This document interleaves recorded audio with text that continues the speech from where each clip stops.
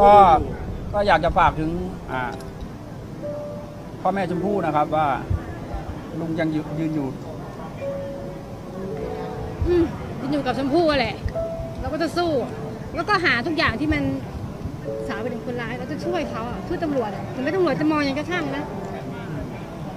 อะไรห้ามไม่ได้ ลุงอัดอั้นพอพูดถึงน้องชมพู่แล้วต้องถึงอัดอั้นเลยค่ะคุณลุงเป็นคนแบบนี้ครับ แกแค้นคิดถึงน้องคนเราอะลูกหลานรักไหม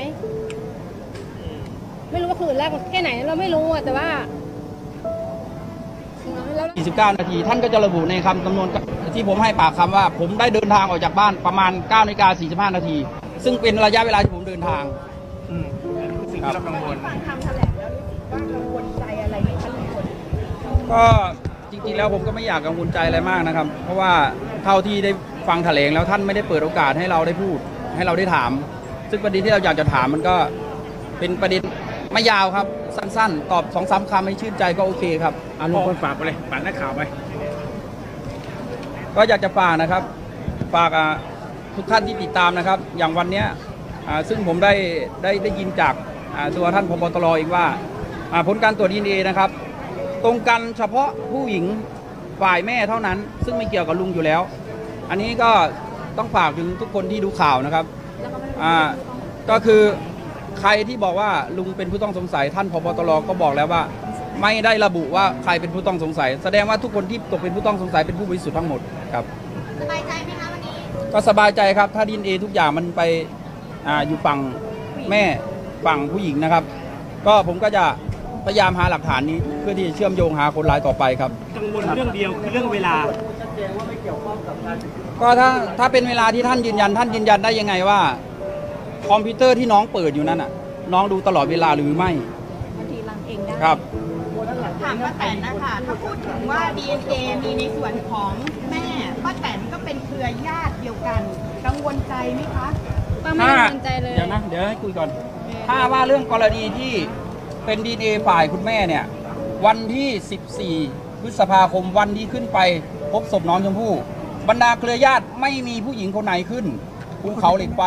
มีแต่ลุงพลคนเดียวที่ขึ้นไปที่เป็นฝ่ายเครือญาติ ครับ ถ้าท่านยืนยันอ่าผลการผ่าชันสูตรวันที่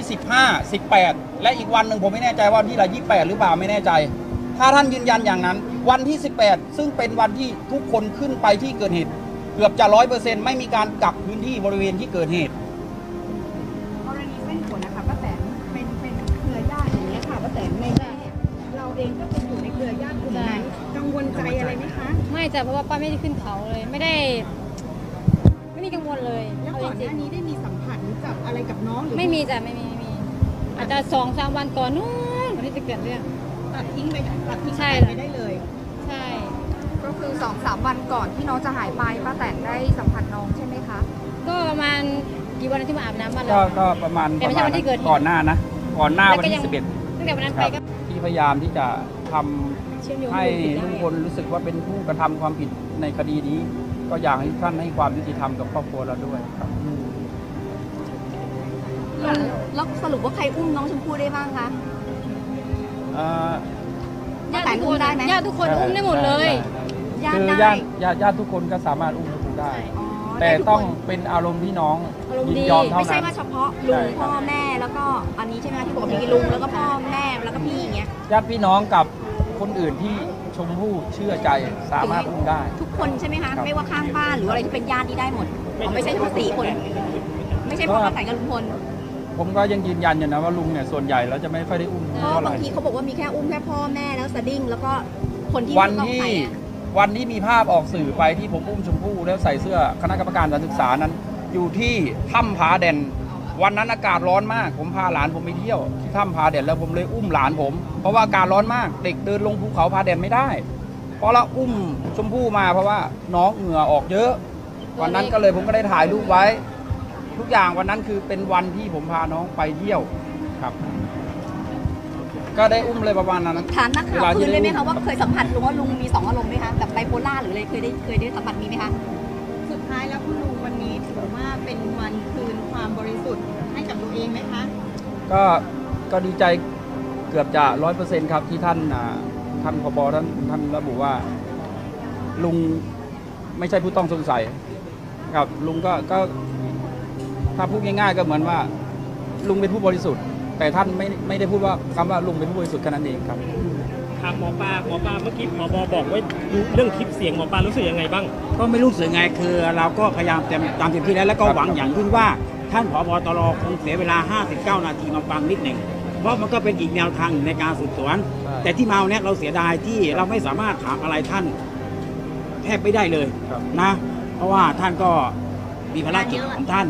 ซึ่งสิ่งที่อยากจะถามก็คือฝากถามท่านว่า ไอ้ลายอะที่มันขึ้นตรงที่แม่น้องเนี่ยตกลงมันเป็นลายจริงหรือลายปลอม ซึ่งก็อยากเห็นข่าวนี้เงียบหายไป นั้นเรารู้สึกในใจไหมว่า เอ๊ะผบตรพูดถึงเราหรือเปล่าที่บอกว่าพูดไม่ตรงอะไรอย่างเงี้ย ไม่ใช่ครับไม่ใช่ อาจจะเป็นอ่าอ่าชาวบ้านส่วนใหญ่ที่ให้เบาะแส อาจจะไปพูดกับสื่ออย่างหนึ่งแล้วก็มาให้อ่าบอกกับตำรวจเขาเรียกบอกตำรวจอีกอย่างหนึ่งครับประมาณนั้นน่าจะเป็นภาพกว้างมากกว่า แต่ตัวลุงพลเองไม่ได้ทำแบบนั้นใช่ไหมคะผม กี่รอบเป็นร้อยๆรอบผมก็พูดคำเดิมครับ วันที่11ผมไปไหนบ้าง วันที่น้องหายครับครับโอเคขอบคุณมากครับสี่เดือนที่ผ่านมานี่เป็นไงบ้างคะสี่เดือนแล้วก็มาฟังคำตอบวันนี้แล้วอะค่ะ ก็ท่านพบตรก็บอกแล้วนะครับว่า